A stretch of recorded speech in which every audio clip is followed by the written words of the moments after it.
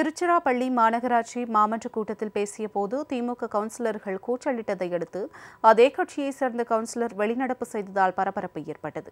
திருச்சிராப்பள்ளி மாநகராட்சி மாமன்ற கூட்டம் மாநகராட்சி மேயர் அன்பழகன் தலைமையில் நடைபெற்றது. இதில் மாநகராட்சி ஆணையர் வைத்தியநாதன் உள்ளிட்ட பலர் பங்கேற்றனர்.